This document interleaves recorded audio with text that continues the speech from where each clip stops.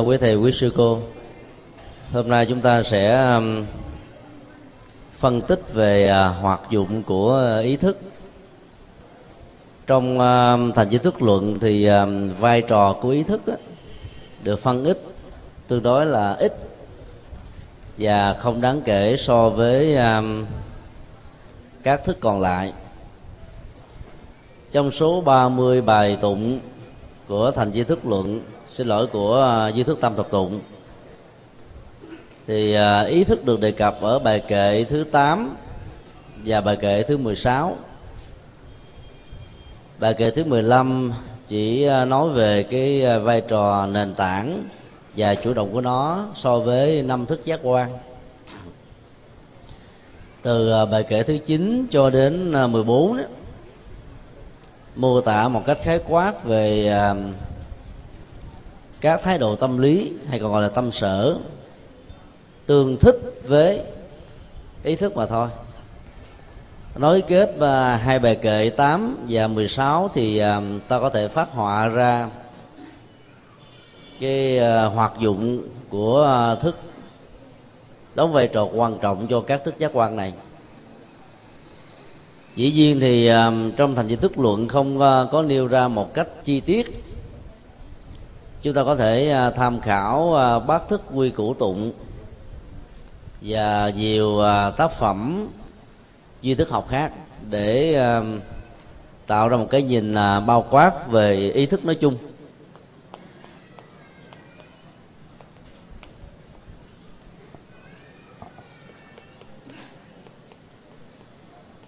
Trước nhất tôi nói đến là cái phần vai trò của ý thức từ cái nhìn của um, tâm thức học Phật giáo, một số trước thuyết cho rằng ý thức là một dạng vật chất. Hay nói cách khác ý thức um, chính là não bộ, hay là toàn bộ hệ thống thần kinh trung ương. Thể hiện ra tất cả mọi hoạt dụng uh, phán đoán, nhận xét, tư duy cảm xúc. Dĩ nhiên à, nói về cái à, mức độ à, chức năng và hoạt động đó, thì những đặc tính vừa nêu gắn liền với bản chất của ý thức. Còn cho rằng ý thức là não bộ đó là một sự sai lầm. Và từ cái sai lầm đó đó thì người ta lại dẫn đến một cái sai lầm khác, cho rằng đó, ý thức cũng chính là vật chất, ở một cái dạng hết sức là vi tế não bộ hay là cái nền tảng căn bản nhất của vật chất ở trong não, chỉ là cái phương tiện cần thiết để cho ý thức có được một mặt bằng để thể hiện chúng mà thôi. Ta có thể à, so sánh à, mối liên hệ này như là điện và các hoạt dụng của nó thông qua điện quang dĩ nhiên là dòng điện lúc nào cũng có, nhưng à, tùy theo à, cái hoạt dụng của à, các yếu tố thể hiện ra điện quang, bao gồm bóng đèn, tăng phô, chuột và nhiều cái khác. Đang trong tình trạng tốt và chúng không có bị đối nghịch lẫn nhau trong cơ chế vận hành, thì cái hoạt dụng của điện sẽ được thể hiện, đó là mở công tắc lên đèn sẽ được bật sáng một trong những bộ phận này bị hư chức năng, thì điện vẫn còn, vẫn hiện hữu. Nhưng à, khả năng phát quang của toàn bộ cái đèn đó được xem là tạm thời không hoạt động. Dựa vào yếu tố không hoạt động do vì à, trục trặc các điều kiện vật lý nào đó trên điều kiện khoa học này, mà ta cho rằng là ý thức xin lỗi ta cho rằng à, điện đó là không có hoặc là nó có là là do về những thứ kia. Thì ta bị rơi vào trạng thái sai lầm. Trước nhất ta có thể nói đó là mà cả tiến trình à, nhận thức và phán đoán. Mà đề cập đến nhận thức á, là ta phải nói là nhận thức về một cái gì đó. Chứ không thể à, nhận thức chung chung. Luôn luôn có tăng ngữ hay nói cách khác là đối tượng của mọi loại hình nhận thức và phán đoán. Mà ý thức nó luôn luôn hướng về các đối tượng như thế. Phán đoán là một từ gọi chung để chỉ cho tất cả các hình thái nhận thức được thể hiện dưới à, ngôn ngữ hay là còn được à, ghi nhận dưới hình thức là một tư duy. Dựa trên cái à, cơ sở phán đoán đó và các cái nhận xét về bản chất của sự vật. Qua cách thức ta định danh chúng là có thích hợp với hiện thực hay là không. Cho nên là khả năng à, nhận xét và phán đoán của ý thức là, là lệ thuộc vào duyên và tính giá trị chân lý của nó ở trong rất nhiều tình huống là tương đối. Vai trò thứ hai ý thức chính là trung tâm của các hoạt động à, tâm lý đạo đức. Ý chí, lý tưởng. Trong à, khái niệm lý tưởng nó bao gồm à, quan điểm, thái độ và ý thức hệ nói chung. Vì là cái cơ sở trọng tâm cho các hoạt động như vừa nêu cho nên uh, các biểu hiện tâm lý rồi uh, quan niệm về đời sống đạo đức cũng như uh, đời sống ý chí và lý tưởng của con người đó được diễn ra. Từ uh, mức độ này ta thấy là con người vượt hẳn lên trên các loài động vật khác. Là bởi vì uh, chúng có khả năng sử dụng cái bản năng tức là một cái phần uh, rất thô và có nhiều uh, cái hoạt dụng tiêu cực của ý thức. Cho nên uh, bản chất của các loài động vật và ngay cả các loài gia súc quý được xem là kém phần phước báo rất nhiều so với uh, tất cả những thứ mà con người có về phương diện đạo đức ý chí và lý tưởng nói chung. Từ lập trường vừa nêu nếu con người không phát huy được các hoạt dụng của um, tâm lý đời sống đạo đức ý chí và lý tưởng đó thì con người đó trở nên tiêu cực. Hay nói là giá trị đóng góp của họ cho xã hội chẳng là bao. Tới lúc được chứng minh ngược lại là họ sẽ tạo ra rất nhiều sự rắc rối nữa. Cơ sở hoạt động của nó là um, nương vào ý căn để có ra các cái hoạt dụng phân biệt. Mọi nhận thức và phán đoán được gọi chung là phân biệt. Ý cần à, được à, thành viên thức luận giải thích ở trong tình huống này là mặt na. Cái hoạt dụng của ý thức nương vào cái cơ cấu à, chấp các hạt giống và bản thân của thức a lệ gia từ à, thức mặt na này mà thể hiện ra các thái độ phân biệt, ứng xử, có phân chia nhị nguyên rõ ràng. Cho nên à, tất cả những cái chức năng phân biệt đó đó là nó vì bám víu vào đồng hành tương ứng với thức mặt na về à, phân biệt phán đoán thì thấy nó có ba tình huống. Thứ nhất là tự tánh phân biệt. Thứ hai là kế độ phân biệt. Và thứ ba là tùy niệm phân biệt. Nêu ra ba tình huống à, phân biệt như vừa nêu thành giới thức lượng nhằm à, phân tích chúng ta rằng là bản chất của ý thức về phương diện phán đoán đó, nó như là một chức năng. Chức năng đó là liễu biệt tức là nhận diện một cách rõ.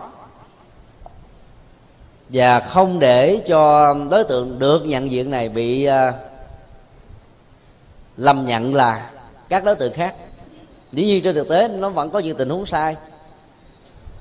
Nhưng trong bản thân của nó về phương diện tự tánh là nó đã có một cái à, khả năng à, so sánh đối chiếu nhận diện đánh giá dầu à, có được thể hiện ra bên ngoài hay không thì cái năng lực tự đánh giá về phương diện tự tánh đó vẫn có. Còn kế độ phân biệt là một cái à, sự à, nhận xét đánh giá mang tính cách là tính toán. Và cái này nó liên hệ đến tất cả các lĩnh vực ngành nghề trong xã hội nói chung. Ai làm kinh doanh làm chức nghiệp gì á, mà nếu không tính toán tốt là có thể bị lỗ ngày xưa tôi gọi là phi thương bất phú còn à, quan niệm của à, việt nam đó là phi nông bất ổn. Và bây giờ à, đi các ngã đường ta thấy đang à, quảng cáo cái quan điểm đó của một à, nhà tư tưởng việt nam. Tức là không à, đi theo à, nông nghiệp thì không ổn định được cái thị trường ở trong nước thì đại đa số chúng ta thuộc về thành phần nghèo. Rồi à, khí hậu của chúng ta là mưa và sự ấm thấp cho nên nước đó, nó có nhiều nó thuận với cái ngành nông. Rồi chủ trương của quốc gia là hiện nay là công nghiệp hóa hiện đại hóa để phát triển mạnh về kinh tế. Và cái đó nó liên hệ đến uh, giao dịch tức là thương thương mại nói chung là quan niệm nào nó cũng có một cái um, cơ sở lý luận của nó. Nó dựa trên những cái cơ cấu tính toán cộng trừ nhân chia. Trong tình huống nào thời điểm nào bối cảnh nào thì uh, việc chọn nông nghiệp là thích hợp. Và trong những tình huống nào hoàn cảnh nào thời điểm nào chọn công nghiệp là thích hợp. Hoặc bao gồm cả hai. Cái đó nó được gọi là kế độ phân biệt. Hầu như um, khi chúng ta vào học theo hệ thống chính trị đó, là cái ờ, thói quen kế độ này nó nó được phát huy khá mạnh. Tức là ta chọn một trong sáu bộ môn.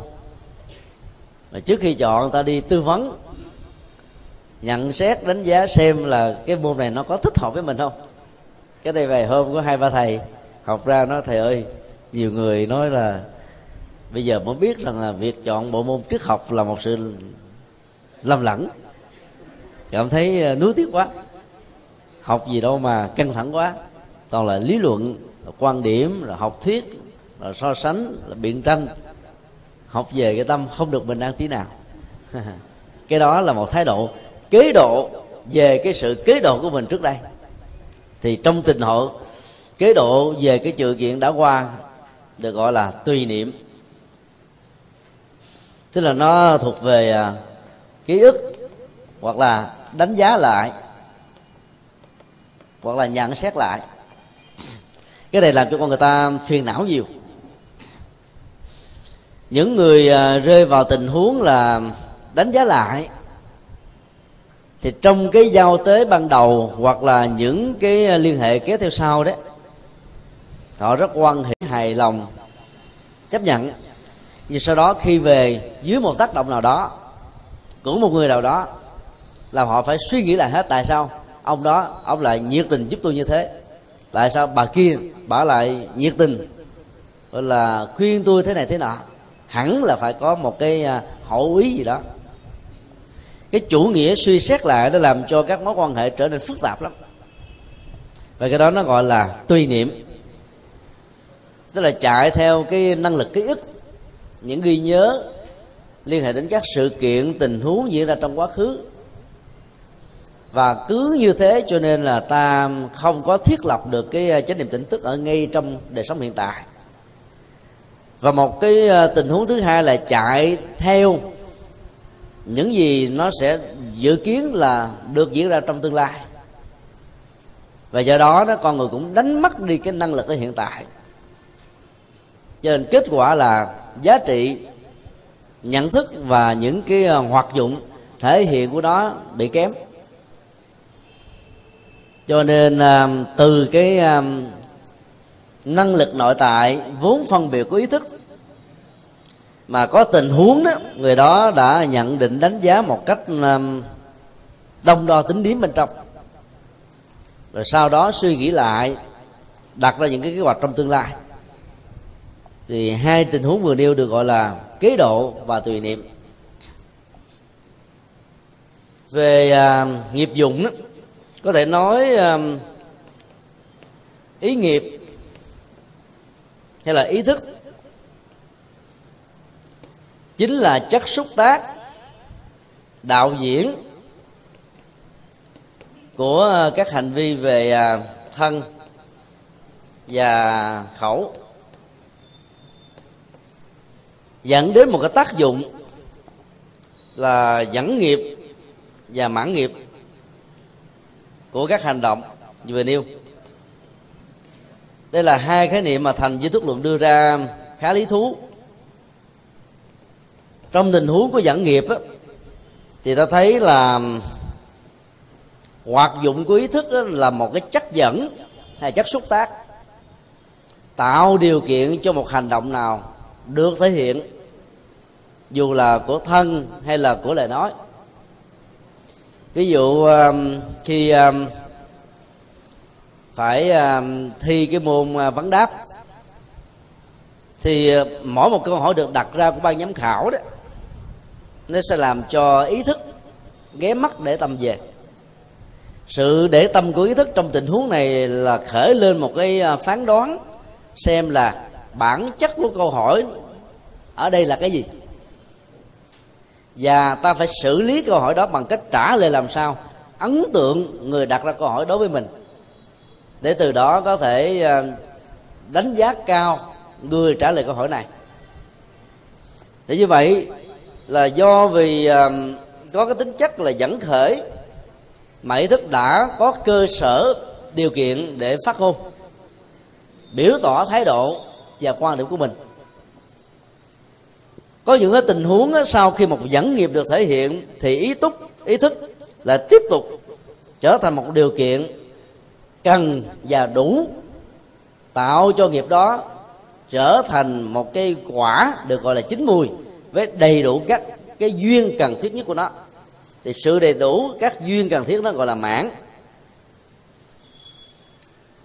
Như vậy nếu ta nói một cách nôm na theo ngôn ngữ hiện đại thì dẫn nghiệp là yếu tố cần như là những xúc tác. Mãn nghiệp là yếu tố đủ để hình thành ra kết quả của một hành vi. Cho nên không có ý thức đó thì hầu như là các hoạt dụng này nó không được thể hiện. Bài kệ à, 1 và 2 của kinh pháp cú đó, nói về cái vai trò này. Mặc dầu à, các bản dịch thì có khi là dịch ý, có khi dịch tâm, có khi là dịch thức và chủ đích vẫn nói rằng là cái vai trò dẫn đạo của ý thức đó, là tạo điều kiện cho hành động của thân và khẩu. Cũng giống như là à, cái bóng không tách rời khỏi à, thân người âm vang không tách rời khỏi à, cái tiếng. Và chiếc xe không tách rời khỏi cái con vật kéo xe ở phía trước đó. Vai trò thứ năm là ý thức được quan niệm như là công vi thủ. Tội vi khôi.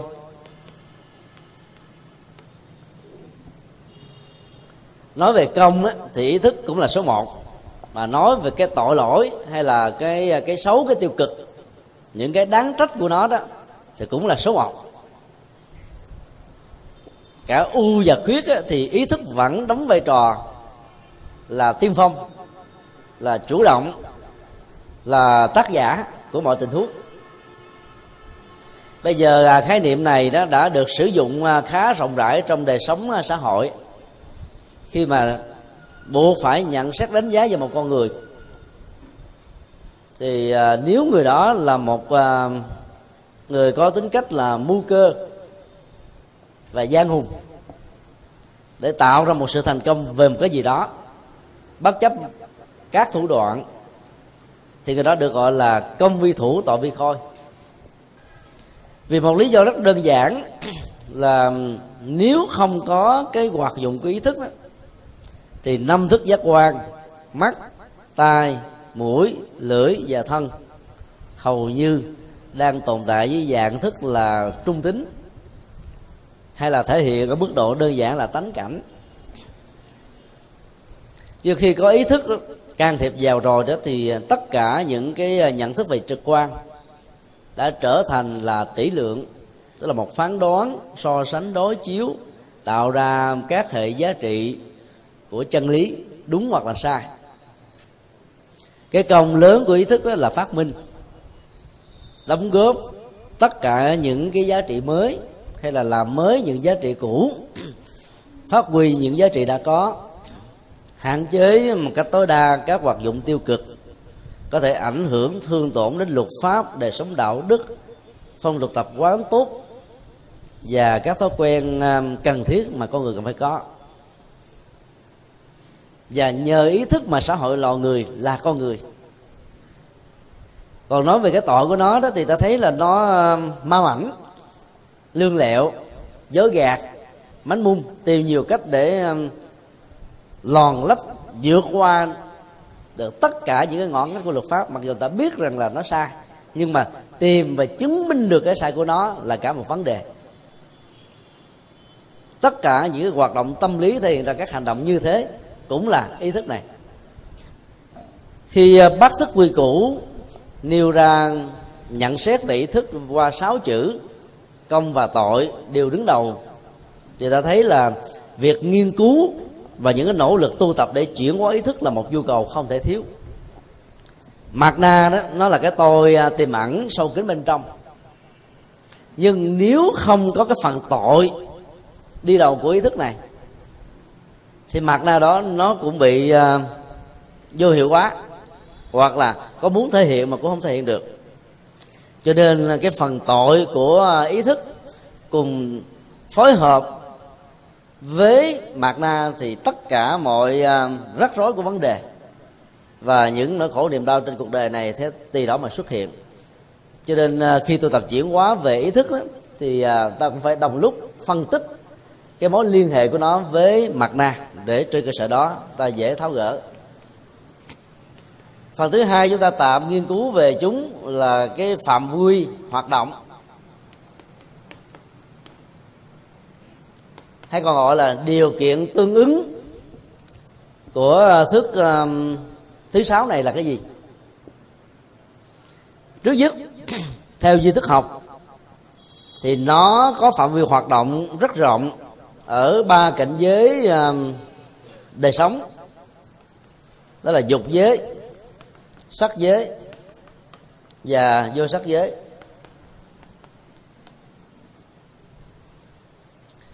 Cái thể hiện à, cụ thể nhất của nó là nằm ở dục giới. Gần như là hoạt dụng chính chiếm đến à, 90% hơn là ở những cái hoạt dụng của à, cảnh giới mà tính dục và các cái khóa lạc giác quan đó, được xem như là một cái nhu cầu rất quan trọng và không thể thiếu. Ở những cái cảnh giới đời sống tinh thần cao hơn như là sắc giới vô sắc giới thì ý thức vẫn là một cái khống chế.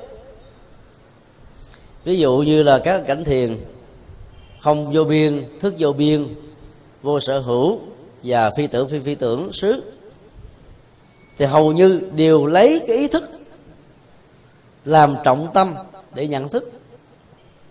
Và do đó nó, cái hoạt dụng của nó sẽ đồng hành với tất cả các chúng sinh nào tồn tại, phát triển ngoại diệt để tiếp tục một cái tiến trình tương tự ở trong ba cảnh giới dục sắc và vô sắc. Thứ hai, về đặc tính, thì à, ý thức nó phối hợp một cách rất là ăn khớp với ba yếu tính của tâm lý đạo đức, đó là thiện, ác và trung tính, đó là vô ký. Người tốt là người để cho ý thức được hoạt động theo quỹ đạo của những giá trị tích cực mang lại lệ lạc cho mình và người ở hiện tại và tương lai. Người bất thiện được đánh giá theo phật giáo là người có những hành động hoặc là lời nói việc làm tư duy hay là những thái hộ tùy hỷ, xúi dục, đồng tình, a vua theo những hoạt động của bất cứ con người nào với những biểu hiện gì nhằm mang lại nó khổ niềm đau cho mình và người.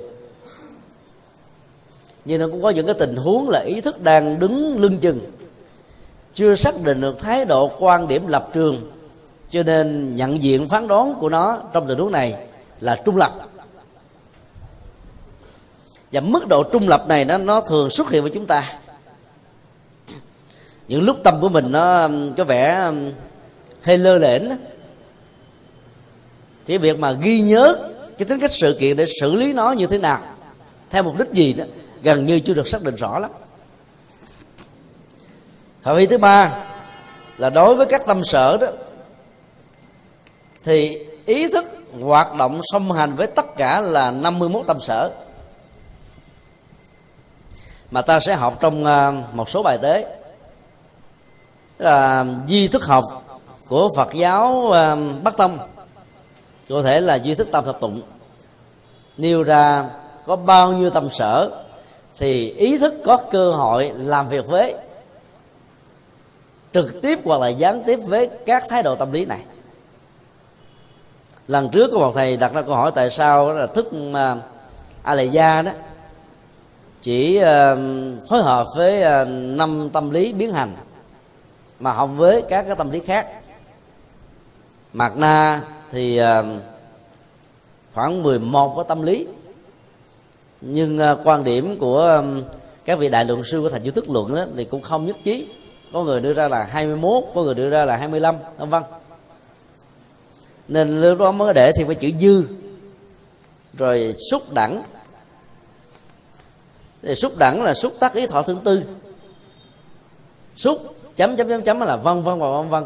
Còn chữ dư đó, tức là thêm những yếu tố khác của các nhóm tâm lý khác nữa. Và do việc khác quan điểm về cách lý giải chữ dư mà cái mức độ hoạt dụng tương ứng của các thái độ tâm lý tức là tâm sở với mặt na và alaya hầu như là mỗi người có một cách lý giải riêng. Nếu ta đọc vào thành chữ thức luận thì cái việc tranh luận về việc lý giải tương, tương thích như thế này đó rất là dài dòng. Mặc dù bên nào cũng có những cái cơ sở lý lý lẽ. Sở dĩ ý thức được xem là nền tảng của 51 tâm sở đó là vì à, trong à, tam thập tụng có đưa ra một ví dụ. Ý thức là nguyên một mặt nước. Và tất cả các tâm sở là sống, thể hiện ở trên à, mặt nước này. Cho nên nếu không có sự đồng hành hay có mặt của ý thức đó thì không có thái độ tâm lý nào có thể phát huy hay là có mặt được. Tâm sở biến hành, tâm sở biệt cảnh tâm à, thiện, tâm ác, rồi à, tâm vô ký, vân vân. Là đều dựa trên cái hoạt dụng của à, ý thức mà ra.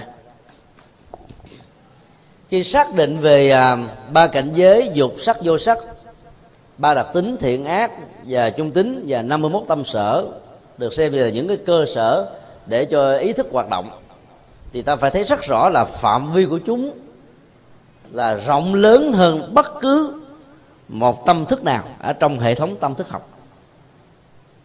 Mặt na là một cái kho tàng thôi.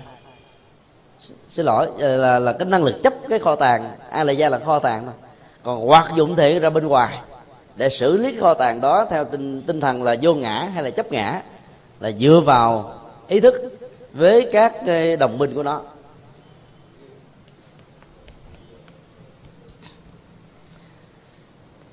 Phân loại về ý thức tạo ra sự à, đồng nhất giữa các quan điểm của à, duy thức học. Ở chỗ là cho rằng chúng có à, tất cả là năm cái tình huống khác nhau. Thông qua đó, ta có thể thấy biết được rằng là chúng đang hiện hữu và có những hoạt động tích cực hay là tiêu cực đối với đời sống đạo đức của con người. Thứ nhất là định trung ý thức.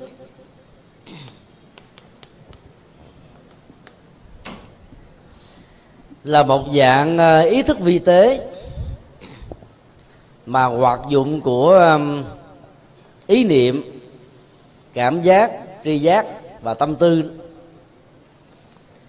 đã bị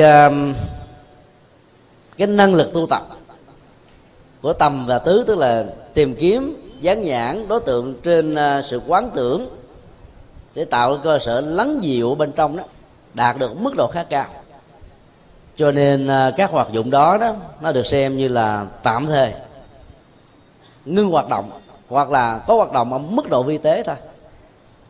Cho nên à, hành giả nào có à, năng lực và có khuynh hướng uh, tu tập về thiền định nhiều đó thì ta sẽ làm chủ được các hoạt dụng uh, của dục giới của ác và của những cái tâm sở bất thiện trong cái phạm vi hoạt động của ý thức nói một cách khác là ngay cả trong ờ, trạng thái của ờ, thiền định diệt thọ tưởng đó, ý thức không vì thế mà mất đi. Nó vi tế thôi, chứ vậy là nó không có. Sự tập trung cao độ nhiều chừng nào thì ờ, hoạt dụng ý thức nó sẽ không có cơ sở để bám víu vào các đối tượng trần cảnh diễn ra xung quanh đối với con mắt, lỗ tai, lỗ mũi, cái lưỡi và cái thân cho nên um, các hành giả à, có kinh nghiệm về tu học thì thường sẽ uh, hướng dẫn cho những người mới bắt đầu đi vào con đường thiền đó. Là khi cái cảm giác tê chân nếu nó không phải phát sinh từ những cái chứng bệnh là do um, thoát vị địa điểm thói quá xương khớp thì ta đừng quá quan tâm đến chúng thì tự động cái cảm giác tê đau nhất đó sẽ được vượt qua. Còn à, nếu nó là một cái phản ứng về bệnh lý thì ta không thể nào không để ý tại vì nếu ta cố tình kéo dài cái tình trạng ngồi khi mà tê chân bị đau do thoát vị địa địa mà đau nhức xương khớp thì dần già rằng là ta sẽ bị à, thần kinh tọa. Và nó ảnh hưởng các cái chi phần thần kinh của tay và chân. Cho nên làm liều như thế dẫn đến một tình trạng bệnh rất nhiều. Thì trong tình huống đó, đó các vị thiền sư sẽ khích lệ đương sự cụ thể này sẽ thực tập phương pháp là kinh hành tức là thay thế bằng thiền tọa bằng kinh hành. Như là tổ sư thiền luân phiên hai cái đó mỗi cái là nửa tiếng có thể ngồi một tiếng rồi sau đó kinh hành nửa tiếng rồi sau đó tiếp tục ngồi. Cứ như thế diễn ra suốt à, 10 tiếng trong một ngày như vậy hình thức ờ, ý thức ở trong đỉnh là một cái loại ý thức đã đang được chuyển hóa ở mức độ tương đối và nó có những cái giá trị, làm cho con người hướng đến cái tốt, cái chân thiện mỹ ở mức độ khá cao. Ít nhất là trong thời gian định có mặt với người này. Thứ hai là tán vị ý thức.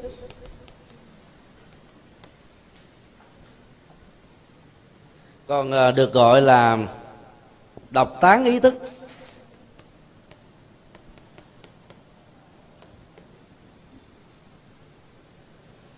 Phạm vi hoạt động về giá trị chân lý của nó đó, bao gồm hai tình huống là tỷ lượng và phi lượng.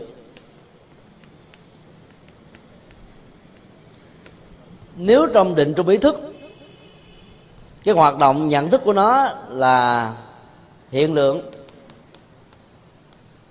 ở mức độ rất vi tế, nhận xét trực tiếp không thông qua khái niệm nhận thức của ý thức ở mức độ thô, thì trong tán vị ý thức, thì sự so sánh đối chiếu với hình thức các phán đoán dẫn đến tình trạng đúng và sai được xem là biểu hiện của loại hình ý thức trong tình huống này.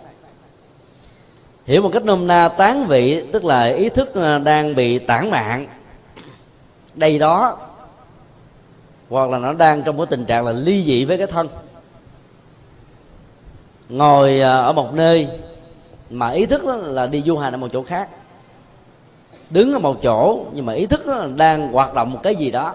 Chứ không phải ngay trong cái tình huống, với cái không gian, với cái sự kiện đang được diễn ra. Nói chung là tất cả các hình thái hoạt động thiếu chánh niệm về tỉnh thức bây giờ và tại đây đều được liệt vào cái loại hình là tán dị ý thức. Và mục đích tu tập của tất cả các hành giả Phật giáo là làm sao làm chủ và chuyển hóa được cái thói quen tán vị này. Cái biểu hiện à, xấu nhất của tán vị thức đó là đảng trí. Tức là khi mà con người có thói quen à, suy nghĩ nhiều quá, mất sự tập trung ở ngay cái giờ phút hiện tại và ngay cái không gian hiện tại đó, thì người đó sẽ à, bị quên đi những sự kiện khác dầu có cố tình nhớ nhớ cũng không nổi. Có người muốn nhớ mà nhớ không được.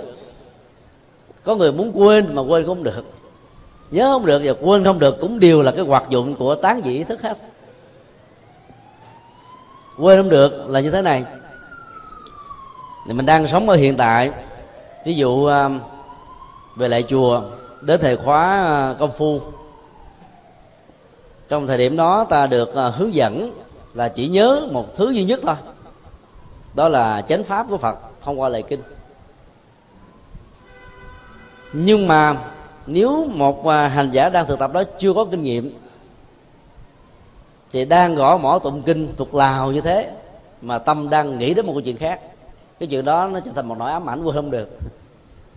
Thế nó cũng là câu tán vị hoặc là đăng tụng mà nó dấp một cái rồi trở lại ngay cái nguyên nhân đó trở hoài không được đi vòng vòng vòng vòng. Vòng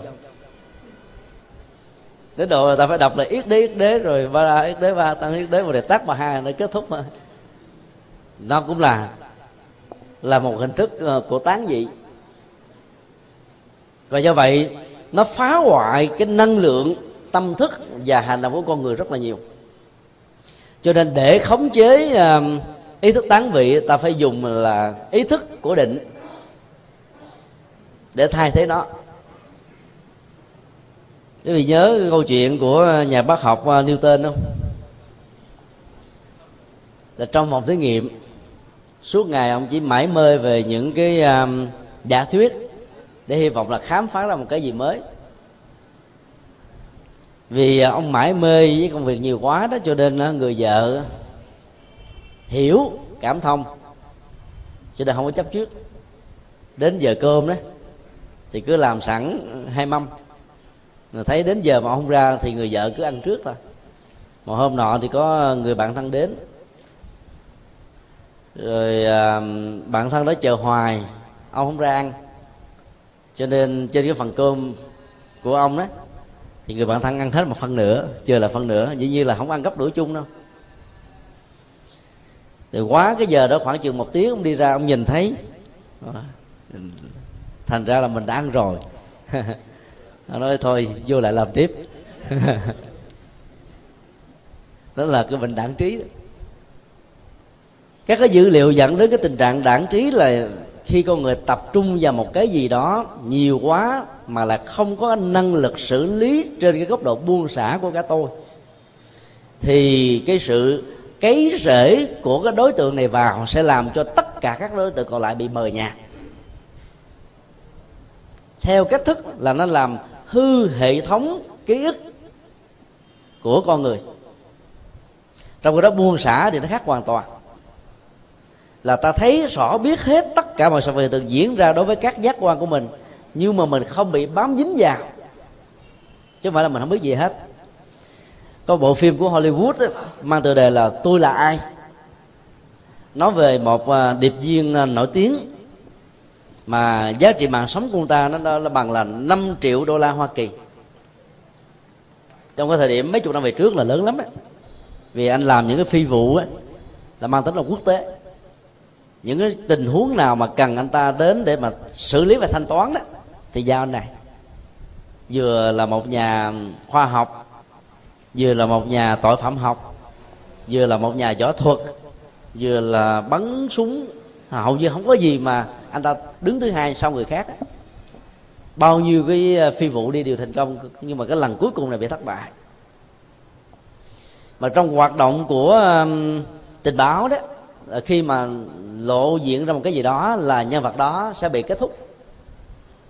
Ở đưa những người đàn em để đến triệt hạ này thì khi mà hoạt động triệt hạ được diễn ra đó, anh ta bị ờ, té đập đầu xuống đất cho nên anh bị ờ, mất đi cái ờ, chức năng nhớ, không biết mình là ai, tên là gì, ở đâu. Mà tại sao quá nhiều người đi theo giết mình? Mặc dầu trong cái tình huống bị đảng trí như vừa nêu do một sự cố y học, anh vẫn còn cái phán đoán rất là chuẩn xác. Một trăm người, hai trăm người, biết bao nhiêu người được cử đến là anh ta có thể hạ hạ thủ hết một cách rất là an toàn. Và khi đi chung với một người phụ nữ đầu tiên là đi quá gian là anh ta tặng luôn cả mấy trăm ngàn đô. Cô này đang bị thất nghiệp mừng quá giúp giúp lúc đầu là chỉ để lấy tiền. Nhưng mà sau đó cái tình nó phát sinh rồi trở thành một người bạn thân mà giúp cho anh này để, để phục hoạt được cái ký ức. Anh ta có nói như thế này chỉ cần à, xuất hiện một nơi nào đó đang có những cái cảm bẫy tôi có thể phán đoán được rằng là cảm bẫy này là để giết ai. Bằng cái trực quan nó mạnh ghê gớm như thế đó. Và đang đi ngoài sau đang có những hoạt động gì mà muốn ám sát mình là anh ta cảm nhận được liền. Như là mà có một cái à, cái nhạy cảm, bộ bộ nhại ở ở mặt sau. Cái gì người ta cũng xử lý được. Tốc độ xe chạy từ kia lại bao nhiêu cây số một giờ, anh ta nói và nếu mà đo nó chuẩn xác như thế. Nhưng có một cái khổ đau lớn nhất là anh ta không biết mình là ai. Mà tại sao mình lại bị người ta theo đuổi để mà giết như thế. Dần ra tìm ra hết tất cả các dữ liệu nhờ cái người người tình đó đó. Mà anh ta nhớ lại từng cái từng cái một. Thì cái kết quả của cái việc mà bị đảng trí trong tình huống này đó ngoài cái việc mà bị đập xuống đất là cái, cái lần cuối cùng anh ta được yêu cầu là giết hủy diệt hết một cái chuyến tàu hạm đội của một quốc gia đối lập. Trong đó đó là gần như 90% là dân sự trên, mặc dầu trên trên tàu nó có chứa những cái loại um, hạt nhân mà. Mà những cái cảnh giết cuối cùng á, là nào là những người rất là hiền những cậu bé cô bé đang nằm ở trong vòng tay của người mẹ người cha. Anh ta bắn nát đầu nát sọ hết rồi. Cái đó nó tạo ra một cái ấn tượng khủng hoảng rất là lớn. Rồi cái va chạm đó nó làm cho bị đảng trí. Như vậy cái cái tình huống mà có một cái khống chế về phương diện ý thức để là những cái vết hằn lớn với những cái nỗi đau. Thì hầu như cái người đó sẽ mất đi cái năng lực ký ức còn lại. Cái khủng hoảng này nó sẽ làm cho người đó rơi vào cái tình trạng là tán dị ở mức độ cao nhất của nó. Và phải nhờ cái người tư vấn hay là những cái hỗ trợ tích cực á, có thể mới phục hồi được những cái hoạt dụng sai lầm và điều chỉnh từ từ để cho người đó trở lại cái trạng thái bình thường. Nhưng bằng không đó, đây là một cái tình huống rất là nguy hiểm. Gần đây thì à, chúng ta biết là có một cái loại thiền gọi là thiền xuất hồn. Trên thực tế là dựa trên cái cơ cấu của quán tưởng thôi. Tâm thức và thân nó cần phải à, được trung thủy và đồng hành ở mọi nơi mọi chốn được gọi là chánh niệm. Thì các hành giả đi theo thiền xuất hồn của ông tám đó được huấn luyện rằng là tâm thức của mình nó thoát ra khỏi và không bị lệ thuộc vào cái thân. Tạo ra một cái cảm giác là bay bổng nhẹ nhàng thư thái. Nếu người đó có thói quen hình dung rằng là tôi đang có mặt ở trên thế giới cực lạc tây phương, thì cái đó có cảm giác là hào quang chiếu rượu. Rồi à, bảy loại à, báo nó có mặt khắp mọi nơi mọi chốn nếu người đó nghĩ rằng là tôi đang ở trên ờ, thiên mộc lạc cảnh, thì cái cảm giác tạo ra cái thoải mái như thế nó cũng được, tùy đó mà phát sinh. Thì cái này đó, nói theo tâm thức học, nó là thuộc về cái tán vị ý thức. Và nó đánh mất cái năng lượng cần thiết nhất của con người trong hiện tại. Cho nên tu một thời gian rồi, các hành giả theo thiền xuất hồn này là man man hết á. Ta cần có mặt để xử lý thì em xử lý trốn đi chỗ khác. phải tốn rất nhiều tiền để đi theo cái phương pháp thiền này nhưng mà kết quả đạt được là ta bị hủy hoại nhiều thứ lắm. Hậu quả trước mắt của à, tán bị thức đó, đó là tai nạn rủi ro. Bởi vì à, sự tập trung không có. Một phút lê đễnh thậm chí là một giây thôi dẫn đến à, cái hậu quả rất nghiêm trọng là kết thúc mạng sống của mình hoặc là nhiều người do đó à, thực tập chánh niệm để không bị à, đánh mất cái ý thức ở trong à, các hoạt động đi đứng nằm ngồi và các sinh hoạt thường nhật của chúng ta đó, sẽ làm cho mình là không bị nuối tiếc bởi những hành động mà bản thân mình không hề muốn. Các tài xế được khích lệ rằng là khi mà mình đang bị mê ngủ, mà giấc ngủ đó, nó ngủ từ ở trong ra đó thì đừng có ráng mà tiếp tục chạy. Hãy ngừng lại xin phép chủ hay là những người khách ở trên xe đó để được ngủ. Ngủ xong phục hoạt được cái sức khỏe cần thiết đó, cho thần kinh nó không mỏi mệt hãy tiếp tục chạy. Còn ráng trong tình huống này nó, nó sẽ rơi vào tình trạng là tán dị. Mắt thì mở mở lim dim lim dim. Nhưng mà cái tâm nó cũng bên trong. Ý thức nó đang nằm ở một cái chỗ khác và cái trọng tâm của nó trong tình huống này là ngủ. Còn con mắt đó, là nó muốn thể hiện cái trách nhiệm của nó. Hai cái tay hai cái chân cũng muốn thể hiện trách nhiệm nhưng mà không đủ sức để làm chủ được bản thân mình. Cho nên tai nạn xuất hiện rất lớn. Vô ý thức là mức độ quá nặng của cái tán dị ý thức.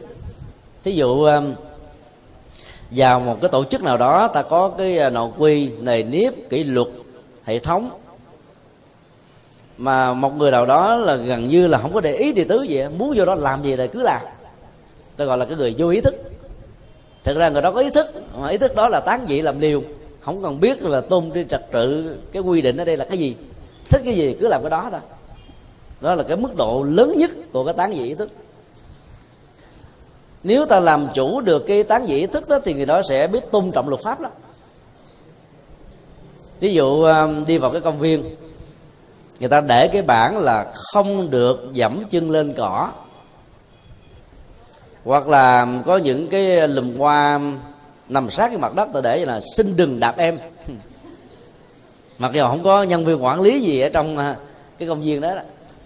Ta vẫn có ý thức rất rõ là đây là cái điều ta không nên. Cho nên đi tới đó ta tránh qua đi theo con đường thôi chứ không dẫm đạp lên những cái không được cho phép hoặc là vào sở thú, người ta đề là đừng chạm vào cái thành tường hay là cái gì đó, hay là đừng tự tiện cho các thú ăn. Bởi vì nó sẽ dẫn đến cái tình trạng là tai nạn mà. Chuyện này nó diễn ra nhiều lắm. Vừa rồi à, cách đây khoảng chừng nửa tháng đó, báo chí quốc tế có đưa tin một sự kiện à, giật gân. Một cậu bé khoảng 4 tuổi rồi ở bên úc đó nó chơi những trò chơi điện tử, nó đem theo nó là một tay sát thủ giết mấy chục con cá sấu. Và nhiều con con vật quý khác. Ba mẹ nó phải đi ra tòa để bầu hoàng tại vì chưa đủ tuổi để chịu án hình sự. Ta cấm nhưng mà ba mẹ nó lo ngồi nói chuyện nó rồi nó, nó chạy đi nó mất tiêu tìm ra không ra. Khi mà phát hiện tìm ra được nó thì là mấy con mấy chục con đã bị chết rồi. Nó đem những cái loại súng rồi nước rồi gì đó. Nó nó chọt nó đâm nó giết sao rồi chết quá trời xa nó là một tình trạng đó là vô ý thức. Nó cũng có ý thức. Ý thức theo cái kiểu mà chê những trò chơi điện tử vui của nó thôi. Nhưng mà vô ý thức ở chỗ là người ta không cho phép là trẻ em đi vào những cái khu vực nguy hiểm. Nó cũng liều để đi vào, nó biết gì đâu. Ý thức đó nó không nhận xét được đây là đúng hay là sai. Đây là nên hay không nên, được hay không được. Cứ thích gì làm đó thôi. Chứ tình trạng vô ý thức này nó dẫn đến cái hậu quả rất nguy hiểm. Và nó là đỉnh cao nhất của tán dị cái đó thì nó lại cái khác. Khi mà tu ờ, thoại đầu đó, thì ta mượn một cái câu nói mà theo định nghĩa của các thiền sư đó, khi mà ý niệm chưa được khởi sinh, thì cái đó nó gọi là cái nguyên quỷ đầu tiên của một câu phán đoán, gọi là thổi đầu. Khi mà ý thức bắt đầu song hành với cái phát ngôn đó, nó được gọi là thổi vĩ, tức là cái đuôi của ngôn ngữ rồi cho nên khởi xuất từ cái quan niệm cái đầu của ngôn ngữ để giúp cho cái ý thức đó, nó đừng có bay nhảy đây đó. Theo cái dạng là tán dị. Nó tập trung vô. Cái vị thọ đầu đó là định trung ý thức. Dùng một câu để quên hết tất cả mọi sự vật hiện tượng xung quanh. Từ cái việc mà tìm hiểu biết qua giáo dục và kinh nghiệm, dẫn đến cái việc phá vỡ luôn cái tùy duyên biết là chánh niệm tỉnh thức đi đứng nằm ngồi ý thức rất rõ là sự hiện hữu của mình trong các tư thế vừa nêu rồi sau đó là rơi vào cái tình trạng thùng sân đen. Nó mờ mịt giữa cái um, những cái dấu ấn vô minh còn lại cuối cùng và cái tuệ giác như là mặt trời chiếu soi. Thì lúc đó phá vỡ thùng sân đen thì cái đó được xem là thể hiện được uh, trí tuệ. Thì như vậy dùng thoại đầu công án câu uh, danh hiệu phật a di đà câu thần chú hay là những cái phương pháp tu tập khác ở trong phật giáo đều được xem là một cái dạng thức vi tế của định. Mượn một cái để tập trung. Và mức độ này nếu nói theo kinh tạng Bali nó là tầm tứ. Tức là dán tâm lên cái đối tượng tu tập. Và giữ ở mức độ lâu dài. Thì những cái khác đó, chúng ta sẽ quên. Nhờ tầm tứ đó mà ta có định. Thì thứ nhất và thì thứ hai phát sinh ra định là nhờ nhờ nhờ tầm tứ này tình huống thứ ba là mộng trung ý thức. Là ý thức trong mộng. Phần lớn giá trị chân lý của nó là phi lượng. Có ba tình huống mộng cụ thể. Thứ nhất là một ức chế tâm lý. Khi ta mơ tưởng, thích thú quan tâm để ý cái gì đó mà nó không thỏa mãn được, thì vào giấc ngủ ban đêm, tất cả những hình ảnh của nó sẽ được thể hiện lại. Dưới hình thức là thuận với ý của ta, hoặc dưới hình thức là một cái nỗi khủng hoảng. Trái nghịch lại khi mà đối diện với sự thất bại của ban ngày nhiều quá. Ức chế tâm lý này là một cái dạng bệnh, mà cái gốc của nó là cái sự chấp ngã và chấp pháp mà ra. Ví dụ à, tất cả à, những à, ứng cử viên của các cái môn nghệ thuật hay các trò chơi phải thi đấu trong một cái giải quốc tế hay là giải trong nước hay giải một tỉnh nào đó. Họ được nuôi cái ý tưởng là trở thành vô địch quán quân của cái mùa và cái giải này. Huấn luyện viên khích lệ điều đó cha mẹ người thân á, cũng muốn cho họ trở thành con người nổi bật như thế. Bản thân họ lúc nào cũng nghĩ tưởng như thế, tập ngày và đêm. Nhưng lúc mà ra thi đó, một cái trục trặc nhỏ về cái sự tự tin, dẫn đến tình trạng là họ bị thất bại. Cái nỗi đau đứng trước cái niềm mơ ước của quá nhiều người mà mình không thỏa mãn được cái lòng nguyện ước của họ đó, nó dẫn đến một cái ức chế tâm lý và ban đêm đó, thì họ có thể rơi vào tình trạng là ác mộng. Ví dụ như là người thân từ bỏ mình, mắng giết mình, nói nặng, nói nhẹ mình. Hoặc là mình có cảm giác là mình không xứng đáng gì nữa hoặc là ta nghĩ là một cách ăn ủi, ví dụ như là bao nhiêu người ta quyền rủa, ta chửi bới mình phải trốn cửa sau mà đi, bằng không là bị thanh toán. Thì trong đó có một người hiểu được tâm trạng của ta. Tại sao ta bị thất bại trong tình huống này? An ủi dỗ về, thì cái động lực đó nó trở thành một cái ấn tượng mạnh nhất để kháng cự lại tất cả những cái nỗi niềm đau khổ mà quần chúng dành cho mình. Thì trong giấc ngủ đó, cái người đó mơ thấy mình thành công dưới cái động lực của người kia. Và trên thực tế nó không phải là thật, nó chỉ thỏa mãn thôi, rằng là tôi có đủ năng lực chứ không phải là tôi kém đâu. Tình huống thứ hai là dự báo một cái đêm mà cái tính xác thực chân lý về sự kiện sẽ được diễn ra trong tương lai là có thật. Có nhiều người mơ như thế nào thì à, ngày hôm sau hay là nhiều tương lai gần hoặc là xa nó diễn ra in đúc như thế. Đánh đề hả? Đánh đề phần lớn không phải mơ. Mà đánh đề là là là cầu cơ. Hoặc là thỉnh thoảng cũng có những người, có những cái dự báo chính xác như thế cái năng lực đó ta tạm gọi là ngoại cảm thôi dự bám điềm là một năng lực ngoại cảm.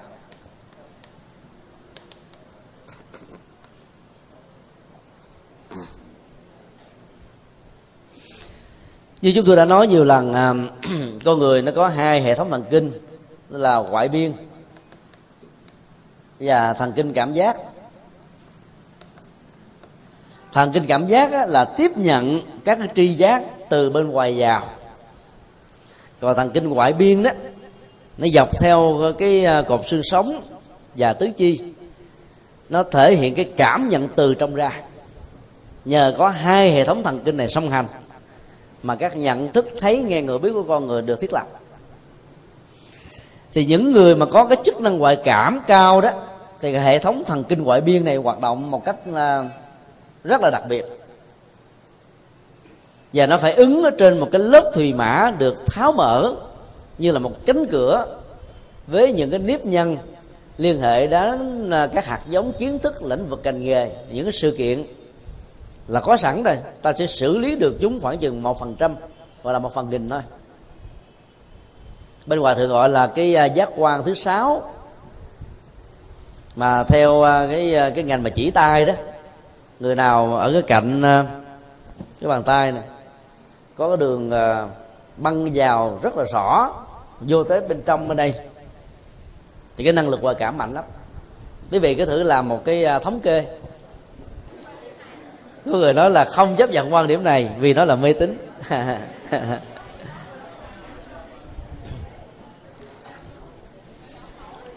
Cái cái cái tính dự báo về cái điềm đó, không nhất thiết là nó chuẩn xác một trăm phần trăm. Ở đây muốn nói là người đó có cái cảm nhận mạnh hơn là người bình thường. Mạnh hơn á.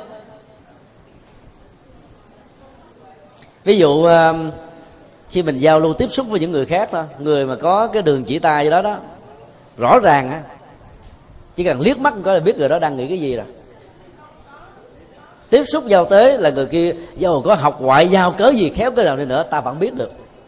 Cái cảm nhận của trực quan đó mạnh lắm. Nếu có chắc không khỏi làm thầy giáo. Vấn đề à, của di thức học nêu ra trong tình huống này không phải là tán đồng những điều vừa nêu mà ý muốn nói rằng là cái việc dự báo á phần lớn đó nó làm cho người ta bị khủng hoảng và sợ hãi nhiều hơn là giá trị mà nó có thể mang đến. Cho nên uh, mặc dù ta không phủ định cái tính khoa học của những cái à, dự báo và điềm như là những à, hoạt dụng của tiên tri. Cái đó kinh điển phật không có phủ, phủ bác nhưng ta không có tin theo cái giá trị của những cái này ở mức độ tuyệt đối. Mà thậm chí là cái phản tác dụng của nó có thể diễn ra đối với con người ở mức độ khá nhiều là là khác. Cho nên à, phân tích và khi thấy biết được cái các năng lực dự báo điềm đó biết cách sử dụng thì ta có thể lấy đó như là một cái thước đo để tránh những cái sự cố. Nó không đáng có đối với mình. Mà thường cái đó là để để lại cái nỗi ám ảnh ghê gớm lắm. Có những cái sự kiện như thế này là hai người có mối quan hệ thân với nhau hoặc là cha và con, chồng và vợ hay là anh em. Mà cái độ nhạy cảm của cái dự báo điềm này là ở mức độ tầng sống ngang bằng với nhau mà hàng ngày họ rất quan tâm thương chăm sóc lo lắng. Thì ngay thời điểm người kia bị tai nạn nặng dẫn đến chết thì ngay cái thời khắc đó nếu cái người còn lại là đang ngủ từ đông thức chắc rồi. Không biết là chuyện gì đã xảy ra. Mà khi truy ra thì biết là sự kiện đó xảy ra còn một lúc thôi. Cái độ nhạy cảm với tần số đó, nó có như vậy là cũng có nhiều cái tình huống dự báo cũng không giải quyết được chuyện gì. Ta biết, bởi vì nó diễn ra theo cái quy luật của nó thôi. Cho nên là chấp nhận và tu học theo nhân quả, vẫn an toàn hơn là dựa vào những cái điềm báo. Mà di thức học gọi đó là mộng trung thôi cái gì trong mộng là không thật sắp tới quý vị sẽ được ờ, xem ờ, cái vở cái lương. Quan âm diệu thiện chúng tôi vừa duyệt xong kịch bản này và có góp ý sửa chữa trước khi được thực hiện đó. Thì trong đó nó có một cái câu là vị vua, khi à, bị cái hậu quả của việc mà phỉ bán tam bảo và áp dụng cái chế độ à, hôn quân để cai trị quốc gia, dẫn đến tình trạng là mắt ông bị mù, tứ chi bị tê liệt và khi đi tìm à, thì người ta mới mách bảo là hãy đến gặp à, một vị sư cô ẩn tu ở trên động hương tích.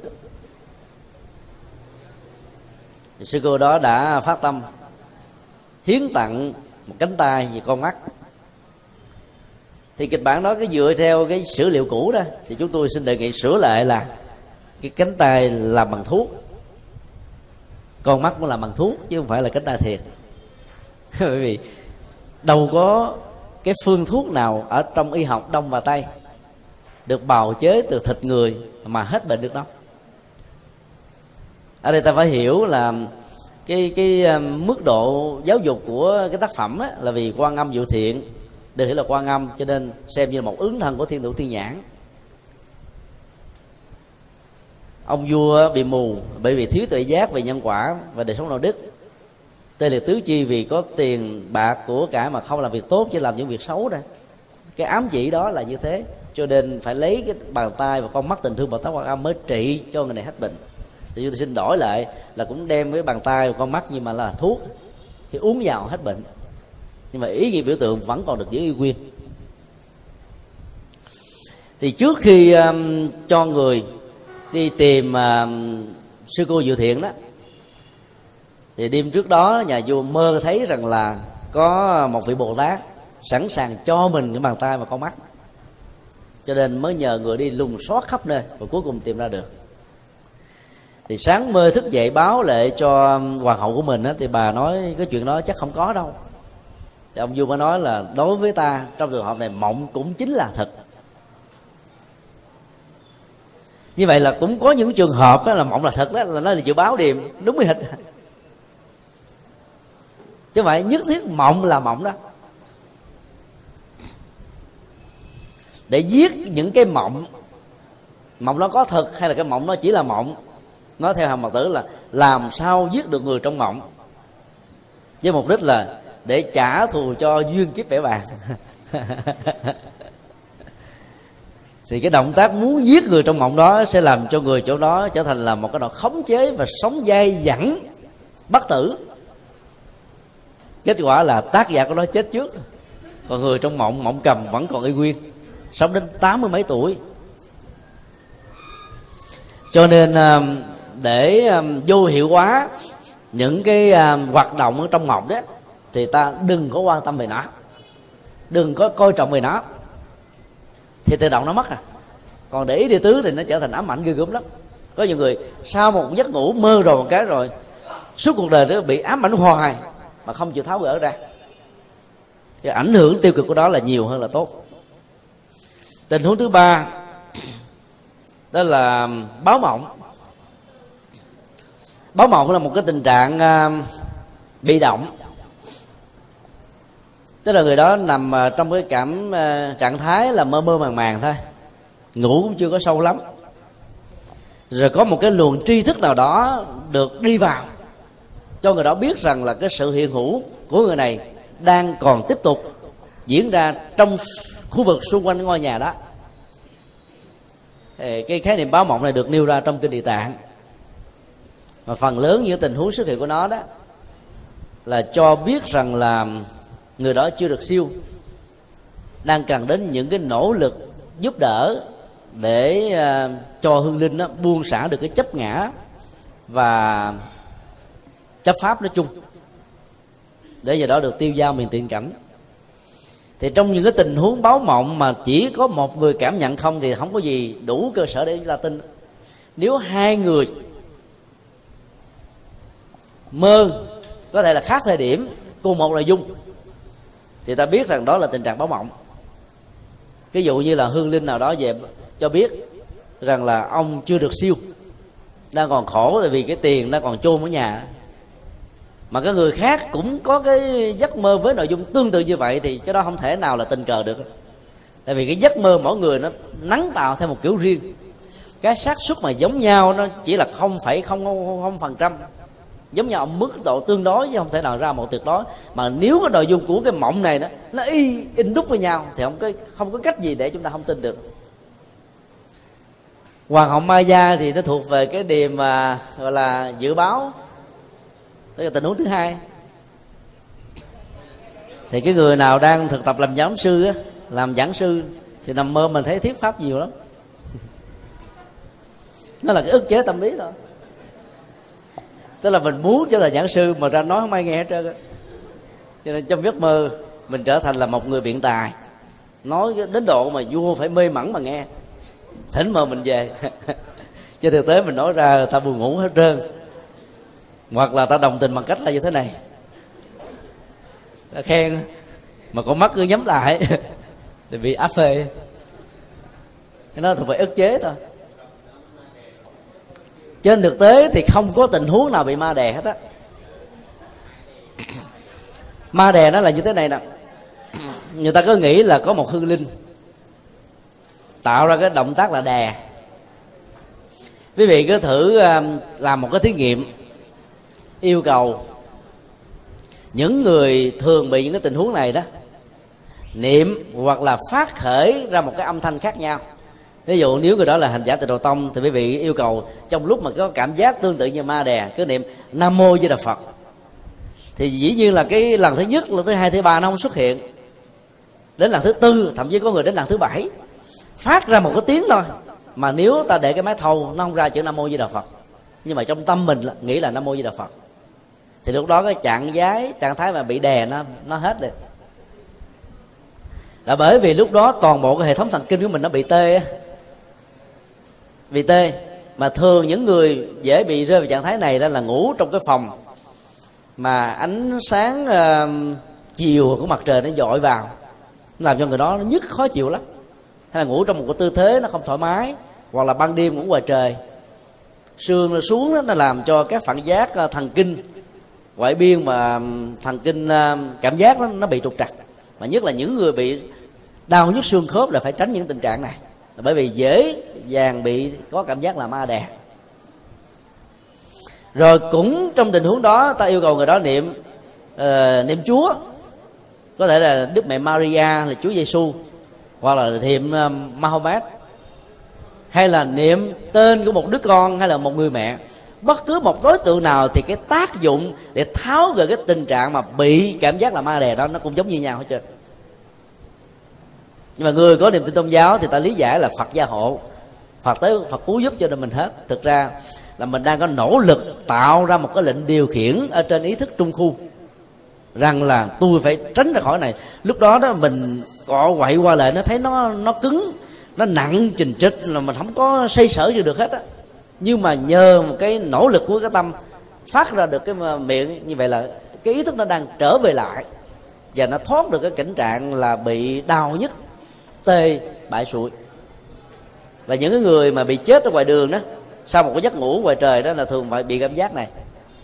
Nó tê cứng là không vận chuyển được. Nếu lúc đó không có người tới bỏng rồi làm à, à, các cái động tác co duỗi tay chân dân dân hoặc là cạo gió toàn thân đó thì người đó sẽ không thể nào qua khỏi được như vậy là trên thực tế là không có cảm giác ma đè mà chỉ là những cái um, trục trặc về um, cái hoạt động của các thần kinh ở trong cơ thể do những cái uh, uh không gian ngủ rồi uh, thời tiết ở trong cái uh, giai đoạn chúng ta ngủ. Hoặc là cái sức khỏe chúng ta nó bị uh, suy giảm một cách nghiêm trọng. Ví dụ như là làm quá mỏi mệt trước đó mấy giờ đồng hồ? Thì khi nằm như vậy là máu nó không được lưu thông cho nên dẫn đến cái tình trạng như thế. Vì ta có niềm tin mê tín bởi những người đi trước nói lại rằng trạng thái đó là ma đè. Cho nên khi bị rơi vào như thế ta hình dung có con một con ma. Trên thực tế chẳng có con ma nào làm được việc đó.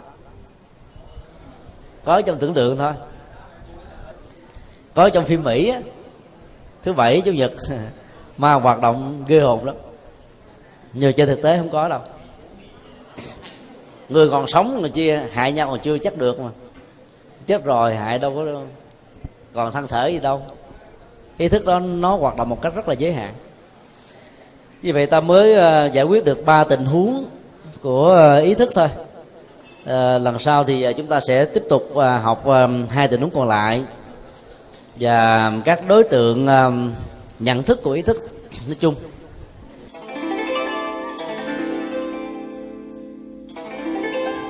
Pháp âm đạo Phật ngày nay xin khép lại nơi đây. Quý vị muốn thỉnh hoặc ấn tống các đĩa CD về Đại Tạng Kinh Việt Nam các kinh sách do thầy Nhật Từ biên soạn, các bài pháp thoại, các đĩa CD về âm nhạc Phật giáo, cũng như muốn đóng góp vào các hoạt động từ thiện của Đạo Phật ngày nay, xin liên lạc theo địa chỉ Công ty trách nhiệm hữu hạn Đạo Phật ngày nay, Chùa Giác Ngộ, số 92, đường Nguyễn Chí Thanh, phường 3, quận 10, thành phố Hồ Chí Minh, Việt Nam. Điện thoại 08 83 35 914 0958 057 827 Email Buddhism Today inc a yahoo.com Thích nhật từ a yahoo.com Website World Wide Web buddhismtoday.com World Wide Web tủ sách Phật học.com